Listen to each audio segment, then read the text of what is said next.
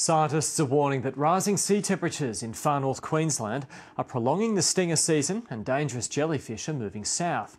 The deadly Irukandji has already been discovered near Fraser Island, and experts believe it's only a matter of time before it and the box jellyfish reach the Sunshine Coast. These deadly box jellyfish inhabit tropical waters during the warmer months. The seas in winter are usually stinger free, but could that be about to change? The length of the season is progressively getting longer and longer and longer, and we think that's driven by these increased water temperatures. Professor Jamie Seymour has been studying stingers for more than two decades. He says the high risk stinger season has gone from just two months 50 years ago to more than half a year now.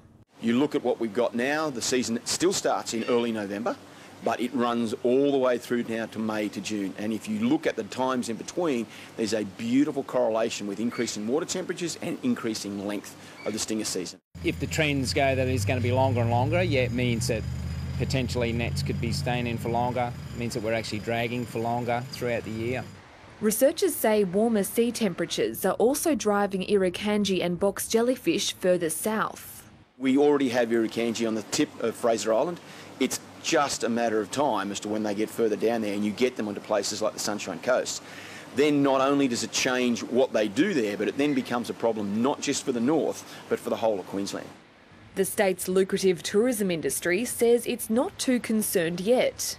And I think a lot more work has to take place there for us to understand what is happening, what is the incident, how serious is this, where are the risks.